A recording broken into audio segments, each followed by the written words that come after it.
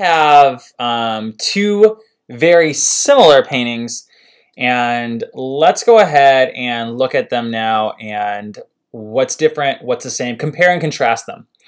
The first one, we know the similarities are the names of the titles of the painting are The Three Musicians by Diego Vasquez and Three Musicians by Pablo Picasso. So this side is Diego Vasquez, this side is Pablo Picasso.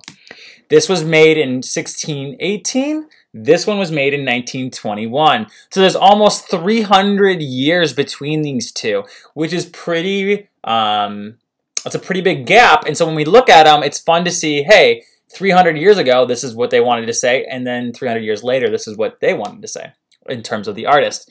Now, a couple of similarities that we can find right away. We see that there are three musical instruments here. I can see two, but we still have a violin, and this one has a guitar, so there's two string instruments. We also see they're sitting at a table at probably a restaurant, same in this area. We see the corner of the room um, for our one-point perspective, and we see the corner of the room for the one-point perspective. We see three men, although they be very abstract, and three men, uh, maybe a child or younger um, younger man maybe. And so there's three and three. We see um, that there is a dog hiding back here. So here's an animal. And there is a monkey back here. So there's an animal. These are really similar paintings, but because this one isn't promoting cubism and abstract, it looks completely different. If you hung these up next to each other in a museum, you would get quite a response on how different they really look. So today we're going to talk a little bit about Cubism, but I wanted you to see what two paintings that look similar but have different techniques and uh, a different part of a different movement could look like. So let's go ahead and let's move to our next step. Okay, so as we talk about Cubism, if I was gonna go ahead and paint this egg or draw this egg, I might render it to look exactly like the way it is, and that's called realism to make this egg look exactly how it appears in real life is called realism. I'm gonna show you a quick example of cubism and how to deconstruct this egg.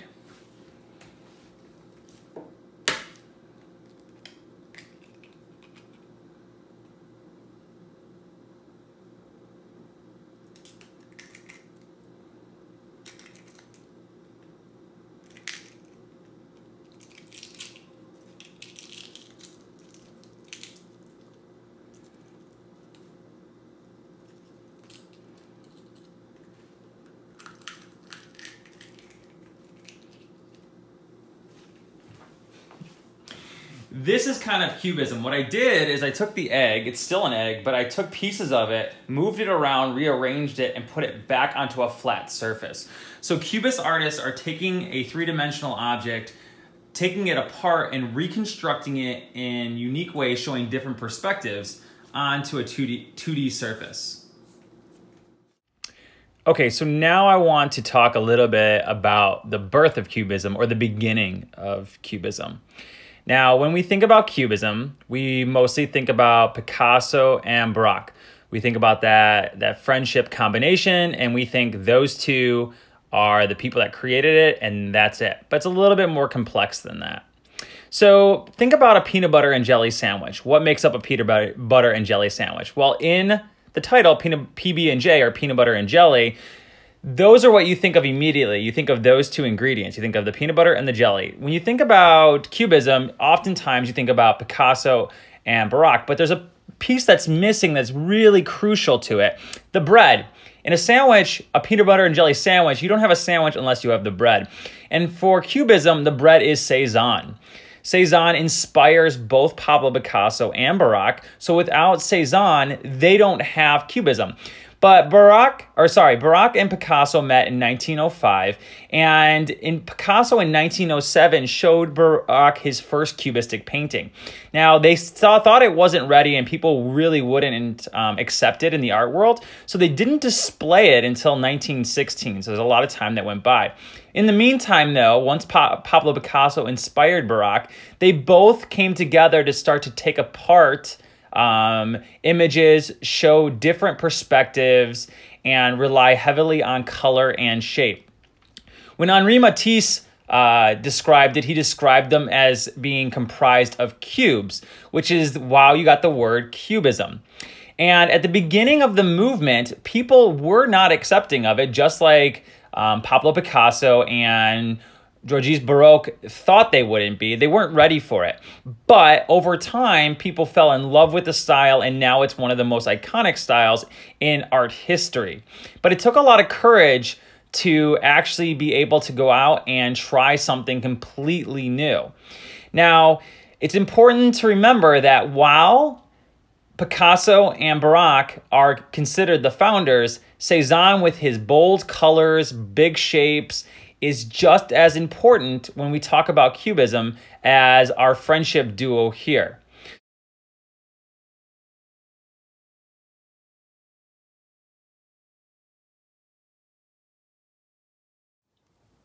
Okay, we're gonna have two parts to this lesson today. Um, the first one is going to be what's called an analytic cubism, and the last one is going to be synthetic cubism. So the analytic, analytic cubism is going to be more of a quick practice, so that's going to be the first step in our videos. So what I want you to do is get a sheet of paper and get a pencil.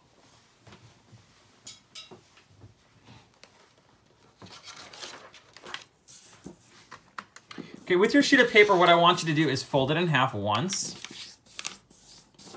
and then fold it in half twice. So when I open it back up, I will have four sheets, or four rectangles to draw inside of. So open it up, and I have one, two, three, four. Now with analytical cubism, or analytic cubism, what happens is you draw an object and then you draw it again and again and again, but you abstract it every single time you draw it. Now, we remember that egg that we broke apart in, earlier in our lesson? It's gonna be similar. So what I'm gonna do is I'm gonna go ahead and I'm gonna take an animal that I like, which is my, one of my favorite animals is a seahorse. So I'm gonna go ahead and draw a seahorse. So what I'm gonna do is I'm gonna first start off by drawing a seahorse mostly realistic. Now, these don't have to be very detailed drawings because these are our practice for our final, but you can go quick. Um, Pablo Picasso was using, mostly in his, he was using bowls. And I'm gonna show you a quick example when we're done with this of his um, analytic uh, cubism. So I have my first seahorse, okay? Now I'm gonna draw that seahorse again, but this time I'm gonna start focusing more on the shapes that make up the seahorse. And I'm gonna make kind of these straight geometric lines, getting rid of any of my organic lines. And it can be nice and quick. And then I'm gonna do it again. But this time, I'm even gonna focus more on shapes that make up my seahorse. I might even break some of my seahorse apart, like we saw in Mr. Wenzel's painting. Start to just focus on what would be there. And last, I'm gonna do one more, and this one's gonna be my most abstract. I'm even gonna make the eye way bigger than it usually is. I'm going to start off by making these pieces float around. I really like the idea that I'm keeping just some of the very basics. And I can even put a line that goes through them to kind of attach them.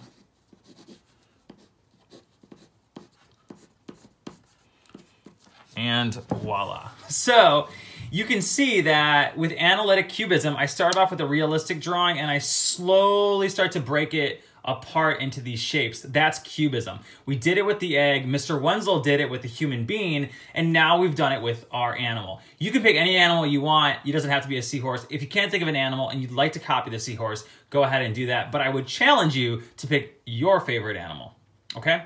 Now we're gonna move into our last step called synthetic cubism. Okay, so now I'm going to show you one of my favorite works of art. It's not something that I've created, it's something that I purchased. And there's a lot of people that create art, but there's also a lot of people that collect art. Um, in art history, there you'll learn about families that helped the Renaissance, all those great things. But for today, we're gonna focus on what I collect. So I have my favorite painting with me today. This is a cubistic painting by Mr. Wenzel. And I really like a couple different things about this painting. Number one is that you can look at it for a long period of time, and each time you look at it, you can kind of see something new. Uh, Mr. Wenzel did a really good job of taking a human that's hiding in there, make that human cubistic, and move pieces around with different colors, different shades, different tones um, to really get you to sit there and think about reconstructing it in your mind. Think about putting it back together like a puzzle that's been taken apart and then splashed all over. He did a wonderful job of creating a work of art that I think probably is my favorite thing that I own. And I hang it up in my apartment and people come over and they always are excited to see it. But let's ask uh, Mr. Wenzel a couple questions about this painting. So let's see if we can get a hold of him. Okay. All right, I'm here with Mr. Wenzel because I'm going to talk a little bit about the art piece that he created that we looked at in our video. Uh, Mr. Wenzel, um, what is Cubism to you? Well, to me, Cubism is probably um, a combination of the two studio habits, envision and observe. So normally we use one or the other, and they're sort of opposites. But in Cubism, you're drawing what you can see, but you're also drawing what you can't see. So you're using your imagination, and you have to make them fit together. You know, in real life, they wouldn't always fit together. So if I'm drawing a hand in Cubism, I'm going to draw this front part that I can see, but I also want to draw the back, and I don't know what that looks like, and I don't know where it should go because normally it's not next to the front of the hand. It's, I'm going to have to decide where to put it. So there's a lot of envision and observation, and I think it's trying to get those two to cooperate and work together. With your painting, um, what did you make? How did you make it?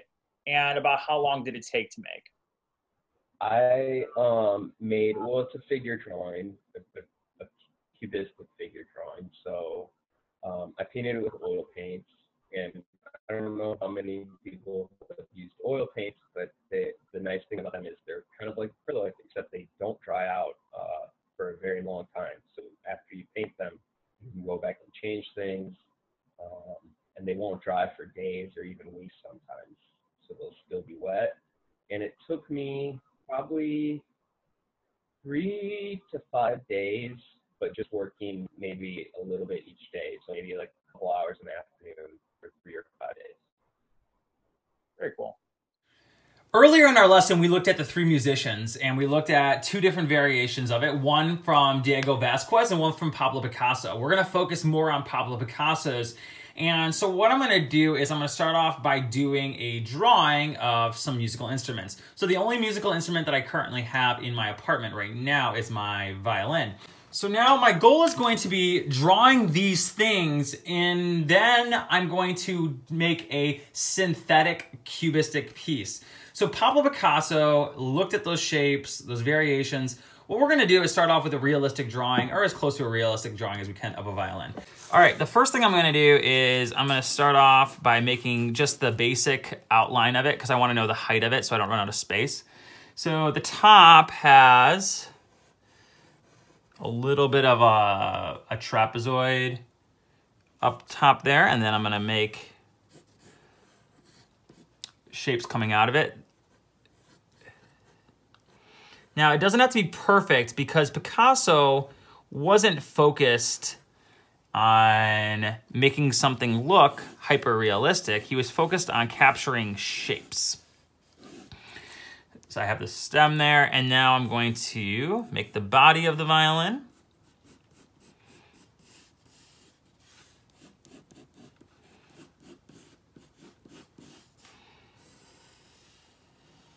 Don't be afraid if you're making mistakes to go ahead, restart, rewind, erase, whatever you gotta do to get your violin where you want to have it.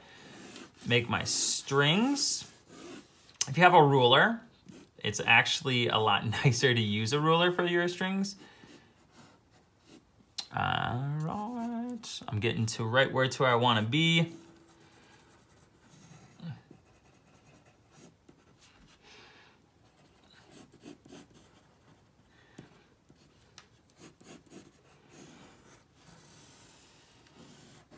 Okay, so a couple different things before we move on.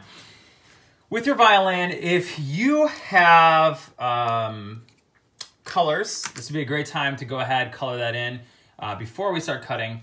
Um, I'm going to use a shading pencil. I'm to shade mine, but it's up to you. Okay, so now with a synthetic um, cubism piece, what I'm going to do is I'm going to get a scissors and I'm gonna go ahead and cut out my violin. Okay, so a couple things that I'm gonna draw on here is I'm gonna draw maybe some musical notes.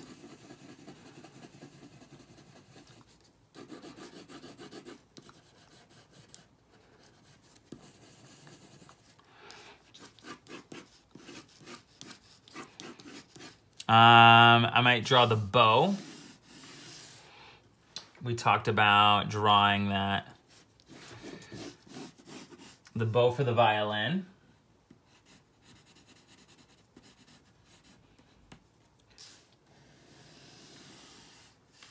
Okay. Um, let's see, what else could I add to my cubistic collage? I could add... Okay, so my last step is I need a glue stick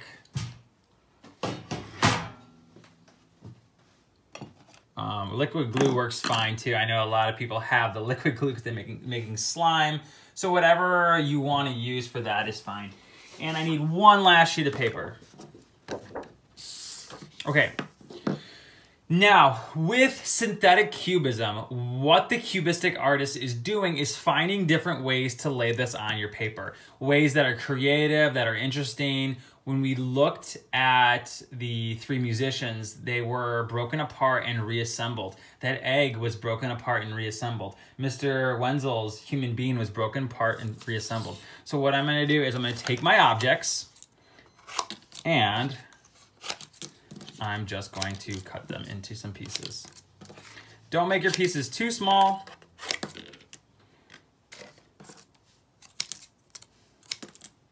But cut them apart. And my last, I did a, a note just to fill.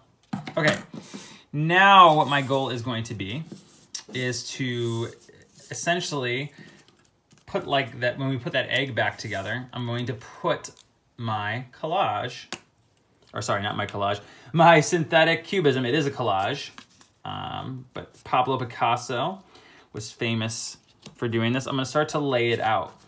Now, I want mine to still, I want my audience, the people viewing my artwork, to still be able to tell what it is. So what I'm doing is I'm just moving my pieces a little bit. I'm not moving them super far apart because I still want to show the idea of what I started with so that my audience can still identify. Now, if you want to make it more abstract, it'll be harder for your audience, which is also a fun, fun way to do it, and actually a very creative way. But for our lesson today, I want you to kind of get it so that people can understand or see where we were going with it. Now, I'm missing a piece of my violin. Oh, that's okay. Actually, that's actually good that you lose a piece too. It doesn't um, you don't need every single piece. You can subtract a little bit when you're deconstructing too. Now I'm gonna do my bow that goes across my violin.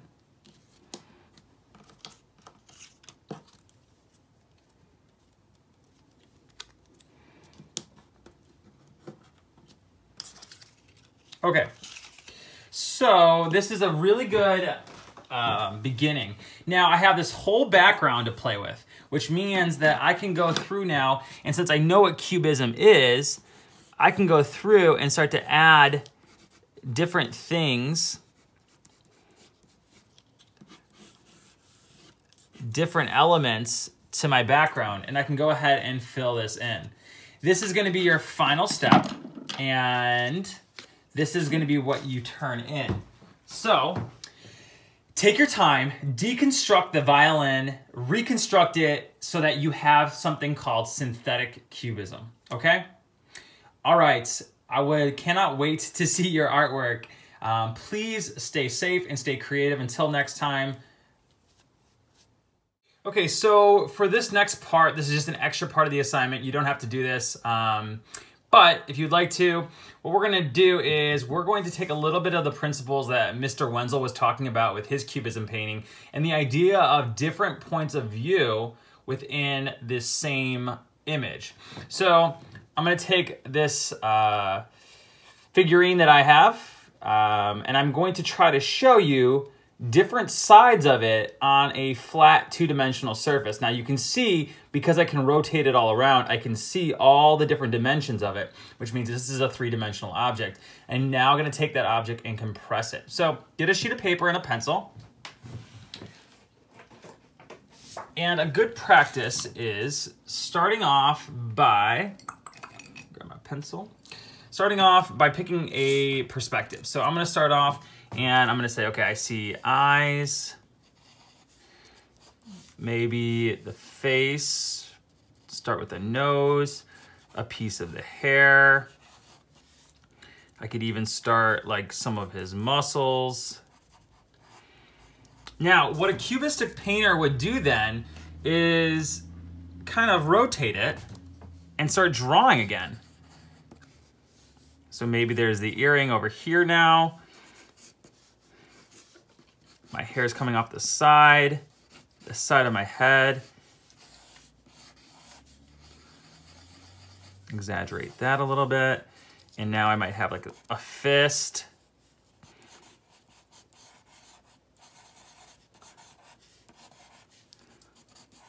Some of these lightning bolts I'm gonna add in or towards the end.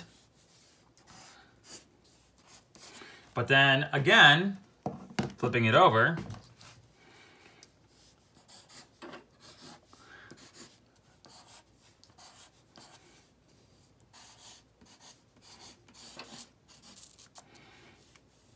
maybe add in the other arm now is facing the back.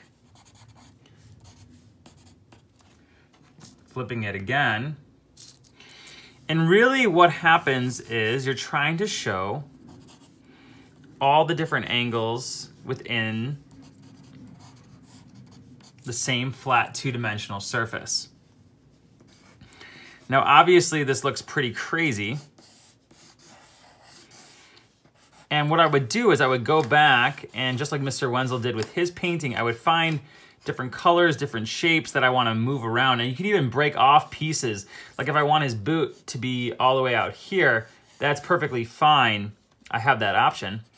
And you want to be as creative as you can and kind of reassembling something that you've taken apart that is three-dimensional. So we, again, we took something that is 3D like this and we decided to draw all the different views of it and I didn't do a top view or a bottom view, but I can do that as well, onto a flat two-dimensional um, piece of paper. This is an extra assignment. If you finished all the other stuff and you want an extra challenge, go ahead and find something in your apartment. If you don't want to find something in your apartment, you're more than welcome to draw this figurine. What you can do is every time I put it down, you can pause it, and every time I move it, you can pause it and then keep drawing it. That way, I will give it to you this way, so you can go like this, press pause, this, press pause, this, press pause, this, press pause. Oops, I'll hold it like that. This, press pause, and this, press pause. Okay? So, good luck with that. Again, that's just an extra uh, assignment if you would like to do it.